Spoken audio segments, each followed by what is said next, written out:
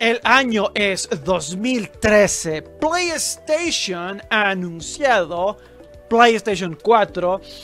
Una presentación relativamente modesta, si se acuerdan. Sin embargo, gracias a errores y aciertos propios, errores de otros y aciertos propios, PlayStation logra dominar toda la generación.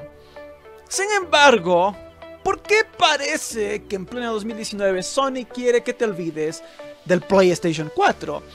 ¿Por qué ha pasado tanto tiempo desde una conferencia real con presentaciones de juegos que se aproximen para el sistema? ¿No les parece raro, contra, contraproducente? Bueno chicos, el día de hoy quiero hablarles un poco de PlayStation 4 y por qué me parece más que obvio Sony está matando a la fuerza al PlayStation 4 para potenciar el PlayStation 5 cuando se presente a comienzos de 2020. Sin más preámbulo, empecemos. Miren, ocurre algo extraño, muy muy extraño con respecto a PlayStation 4 y PlayStation. 2018 E3, la última vez que Sony hizo una conferencia propiamente dicha para su consola. Es bastante curioso que desde ahí hemos tenido Tokyo Game Shows, hemos tenido Games Conference, hemos tenido PlayStation Experience y Sony no solo que ha saltado dichos eventos, sino que ha ignorado por completo juegos que se le aproximan.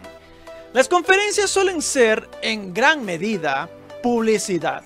Básicamente asistes, haces un evento para promocionar tu consola. Los juegos son comerciales para que la gente se motive a comprar tu dispositivo. Por eso cualquier compañía se esfuerza enormemente en tener exclusividades.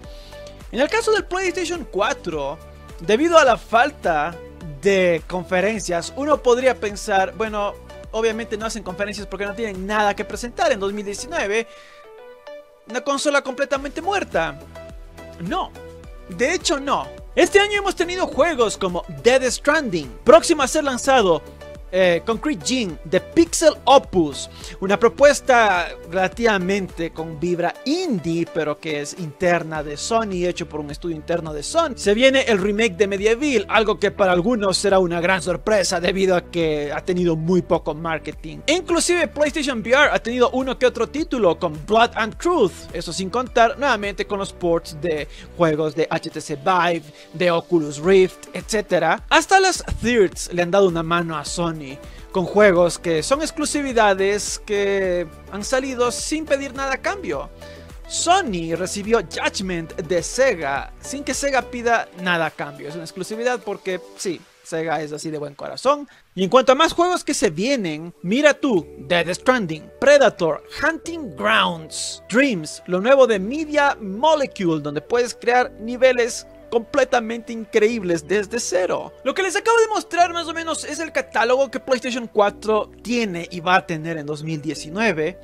Es más que suficiente para hacer conferencias, es más que suficiente para hacer eventos. Ojo, al comienzo de la generación, Sony hacía E3 y uh, Gamescoms, inclusive cuando empezó a hacer los PlayStation Experience, casi que presentando remasters e indies. 70-80% de esas conferencias eran indies, uno que otro remaster y por ahí quizás uno que otro exclusivo grande AAA de gran presupuesto. Tener una escasez de juegos nunca impidió a Sony hacer conferencias. Debido a que 2019 no ha sido un año escasísimo para PlayStation 4, no hay razón para que Sony haya optado por no hacer más eventos. Porque ojo, en una conferencia no solo presentas juegos propios, presentas también juegos de terceros. Presentas el Call of Duty o Assassin's Creed que se viene, que Cyberpunk, que Doom Eternal, etcétera, etcétera, todo lo que se viene este año.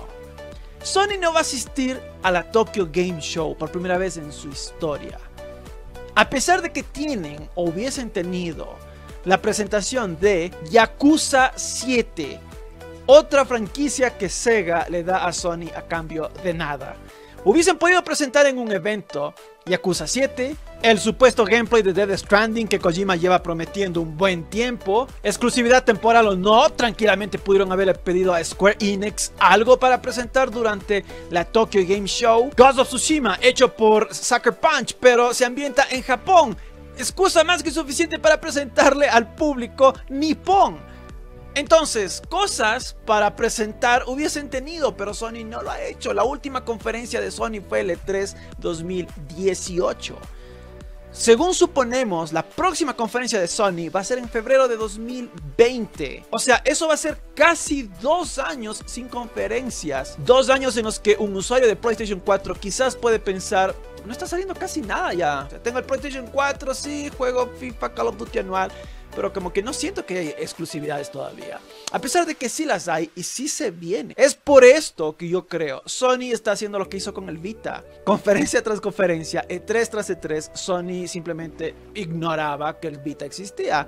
Ah, para el Vita van a salir juegos, sí, sí, pero no vamos a presentarlos en una conferencia. ¿Qué crees? ¿Que queremos ayudar al marketing de esta consola? No, para nada, la queremos muerta. Eso es lo que está pasando con el PlayStation 4. Sony quiere que te olvides de que el sistema todavía está relativamente vivo.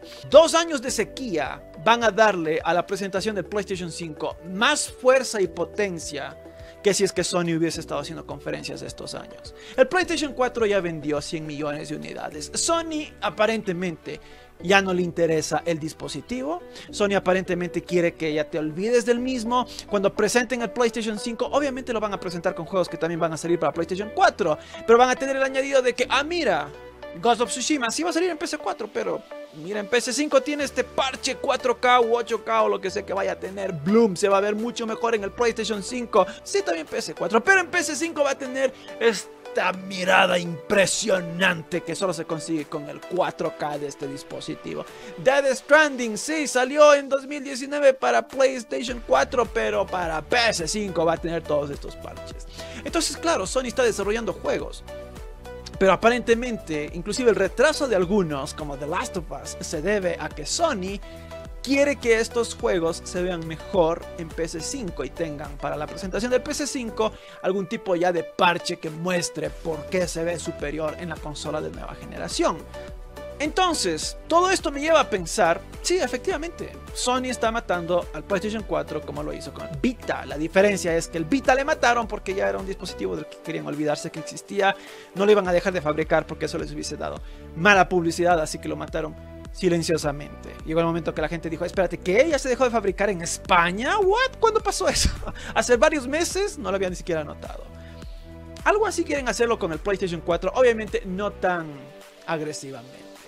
Pero con el PlayStation 4 si quieren que paulatinamente te vayas olvidando, no se asombren si es que viene el E3 2020 y Sony ni siquiera menciona el PlayStation 4. Ese E3 2020 probablemente se concentrará solo en PS5 y PS4, ¿qué es eso? Eso ya vendió más de 100 millones. Ya no me interesa si es que todavía salen juegos ahí. Ya, si es que quieres comprar los juegos, adelante. Pero ahora me concentro en PS5. Solo es más que una teoría lo que les estoy planteando, pero al final del día no le encuentro otra explicación para que Sony no esté haciendo conferencias. Más aún, les repito, al inicio de esta generación hacían conferencias, aunque estas tuviesen 80% de indies y remasters. Nunca les importó la verdad tener escasez de juegos, porque al final del día eran juegos que daban promoción a la consola, que ayudaban a vender la consola no hacer conferencias afecta las ventas de la consola. En los últimos reportes financieros, Sony adjudicó que para marzo de 2020 PS4 iba a tener bajas ventas por el anuncio del PS5, por el anuncio de la nueva generación, lo decían ahí en ese reporte. Pero aparentemente no fueron muy claros al especificar que no solo el anuncio del PS5 iba a bajar las ventas del PS4, sino también el hecho de que ellos iban activamente a parar marketing en eventos gigantescos como el E3, el Tokyo Game Show, la Gamescom, la PlayStation Experience, etc. A pesar de tener un año bastante decente en 2019, no han hecho nada. Nuevamente, no porque no tengan sino porque me imagino que para febrero de 2020 les, les, va a interesar más que asocies Ghost of Tsushima, The Last of Us, Death Stranding con PlayStation 5. Lo que creo es la visión actualmente de Sony. No hace falta ser muy adivino para entrever que Sony consideró que ya vendió lo que ellos consideraban excelente, 100 millones de unidades. Saben que aunque no les den, que aunque no le den marketing, va a seguir vendiendo un poco más en los próximos años, como fue con el Vita, como fue con el PlayStation 3 una vez que salió el PlayStation 4. Entonces, más o menos están ya anticipándose, están fingiendo que el PlayStation 5 ya está en el mercado y no están esforzándose nada en la consola actual. Es, es, más bien dinero que están ahorrando o están reservando. Son anuncios que están reservando también para la siguiente generación. Pero en fin, déjenme saber ustedes, chicos. Con eso voy a concluir este Super Ken Show. Déjenme saber en los comentarios qué opinan con respecto del PlayStation 4. ¿Están de acuerdo conmigo en que Sony, a propósito, a propósito está matando el dispositivo para potenciar ya la, la nueva generación? ¿Creen que es una buena idea? Si recientemente adquirieron PS4, ¿cómo se sienten al respecto? Déjenme saber en los comentarios. No se olviden de suscribir, no se olviden de comentar. Y nos vemos conmigo en el siguiente.